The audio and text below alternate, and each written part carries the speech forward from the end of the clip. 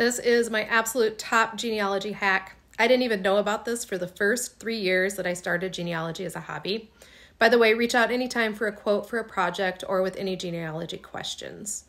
You absolutely need to be using the FamilySearch Catalog. If you're just using Ancestry or MyHeritage, you're missing out on the really good records. You have to put forth a little more effort to get to the good stuff.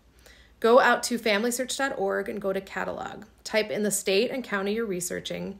This is where you'll find the records that haven't yet been indexed by name to search.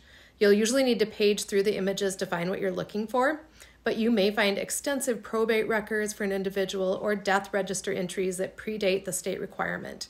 Always check this, especially when researching abroad. Good luck.